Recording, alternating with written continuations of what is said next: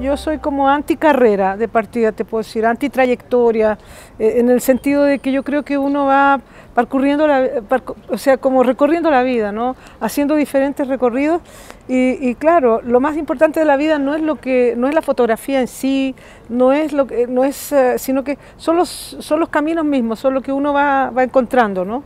Y claro, en Chile mientras estuve entre los años 79 y 83, eh, sí, la fotografía para mí fue muy importante porque estaba descubriéndola y porque habíamos muchísimas gentes haciendo cosas y en Chile no existía mucho un ámbito de fotografía y era para mí eso importante. Y al mismo tiempo también había toda una gestión cultural, entonces había ahí como una efervescencia en un país que era realmente dominado por la dictadura. ¿no? Yo creo que el arte eh, genera conciencia y eh, naturalmente y, efectivamente también creo que el arte debe acercarse más, eh, dejar de ser tan elitista, no me refiero a la fotografía en, nomás, sino que todo el arte, el arte, el arte en un principio de las sociedades primitivas, el arte es una cosa que hacemos todos, el arte es algo sacro, ¿no?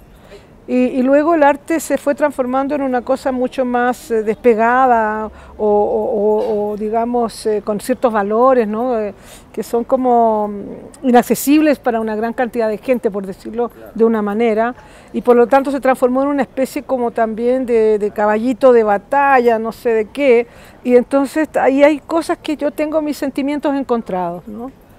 creo que el arte sirve y sobre todo creo que el arte sí debería servir debería servir.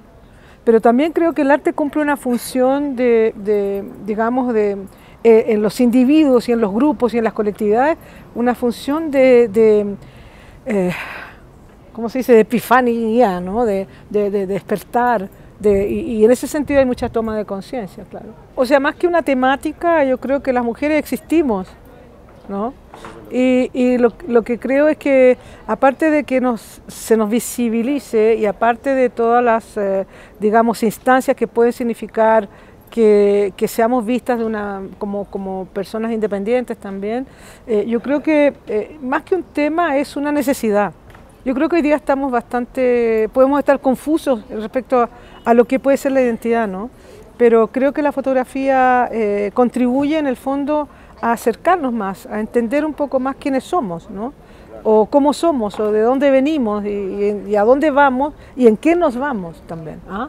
como decía el poeta Bertoni. Entonces, creo que eh, sí, todo contribuye, el arte y la fotografía en tanto que arte contribuye, la fotografía en tanto que también testimonio, contribuye a saber quiénes somos, qué es lo que está ocurriendo en tal parte. Piensa tú lo que está pasando en Chile en estos momentos, solo lo vemos a través de imágenes. ¿ah? Entonces, yo como chilena siento que eso para mí es fundamental, ¿no?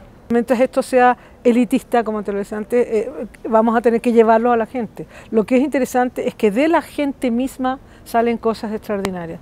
Y eso también lo prueba efectivamente el hecho hoy día de que la fotografía está en los teléfonos y está en todas partes, es mucho menos elitista que antes, no necesitas tener un tremendo chorizo, no sé de qué, electrónico y con 4.000 trípodes y no sé qué, para poder reportear algo que sucede. ¿no? Lo personal, en el fondo no es tan personal cuando se trata efectivamente de mostrar eh, situaciones, conflictos o, tu propia vida. O sea, tu propia vida puede, eh, eh, si la publicas, efectivamente, ser pública, es decir, ser compartida por otra gente.